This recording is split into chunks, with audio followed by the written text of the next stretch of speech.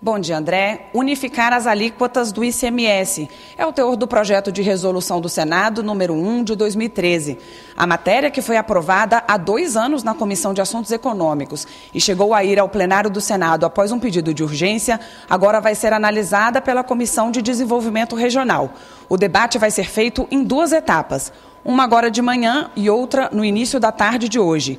Foram convidados a falar nas duas audiências públicas secretários de Fazenda das cinco regiões do país, o coordenador dos secretários estaduais de Fazenda no Confaz, José Barroso Neto, um representante do Ministério da Fazenda, além dos senadores José Serra, Walter Pinheiro, Romero Jucá e Delcídio do Amaral, que foi o relator da matéria na Comissão de Assuntos Econômicos. A proposta em análise estabelece que os produtos que saem do Sul e do Sudeste, com destino às demais regiões do país, paguem 4% e não mais 7% de ICMS. Já no caso das mercadorias que saem das demais regiões do país, com destino ao Sul e Sudeste, pagariam 7% e não mais 12% de ICMS. A regra é diferente no caso das operações entre estados de uma mesma região, que pagariam alíquota de 4%.